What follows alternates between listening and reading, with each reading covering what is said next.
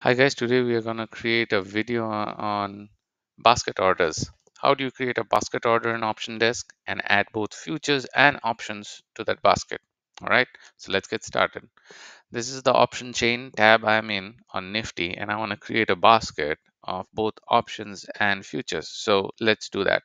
So in order to add any um, option contract to your basket, there are three ways of doing it from the option chain.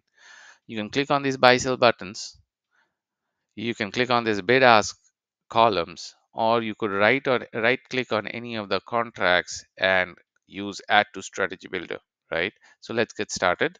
So i'm going to click on say buy button okay? This is a buy and i'm creating one lot on the 17300 c call strike add and you can see that the strike got added 17300 to my paper position right? Which is my basket. I'm going to do the same with bid ask columns. Click on bid, say I want to sell it. So I sold it. So I'm shorting it, 17,250 shorted, right?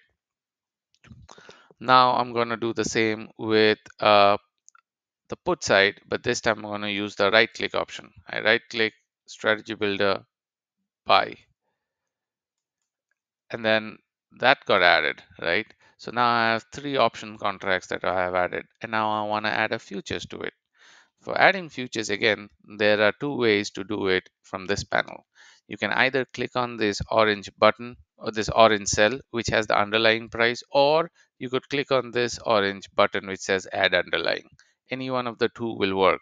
So I click on here.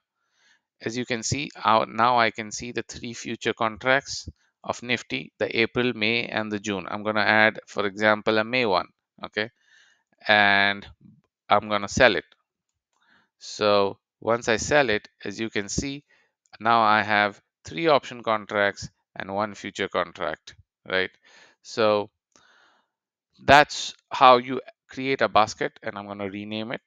Okay, I'm going to call it say my basket, my basket. So I now have created a, a strategy called my basket comprising of three options and one future.